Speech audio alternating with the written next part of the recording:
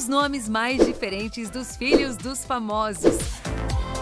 Muitas celebridades escolheram nomes exóticos para batizar a prole. De tempestade a maçã, veja os nomes mais inusitados. A filha de Kate Perry e Orlando Bloom ganhou o nome de Daisy Dove Bloom. Na tradução literal, seria Margarida Pomba Flor. Cardi B batizou a filha como Culture, que em livre tradução significa cultura. Mas para estilizar, o C foi substituído pela letra K. Os nomes dos filhos de Kim Kardashian são um capítulo à parte. North, Saint e Psalm, em tradução ao pé da letra, seriam Norte, Santo e Salmo.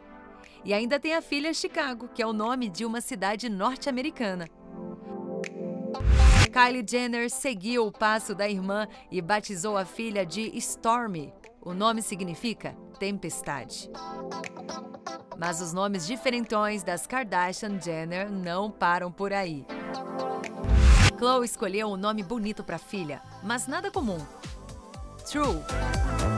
Se você colocar em um tradutor, vai descobrir que o nome significa verdade em português. Apple foi o nome escolhido por Gwyneth Paltrow para a primeira filha. A tradução é bem fácil: maçã. Busy Phillips. Busy é o nome artístico que vem de Elizabeth e significa ocupada.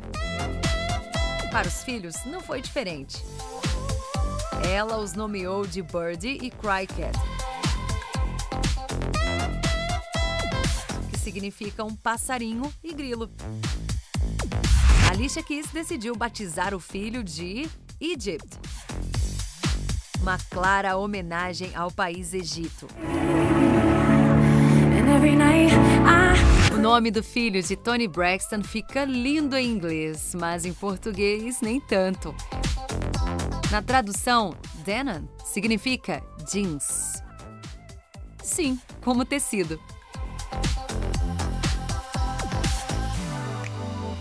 Moroccan foi o nome escolhido por Mariah Carey para o filho, ele designa quem nasce no Marrocos, ou seja, marroquino. Você colocaria alguns desses nomes nos seus filhos?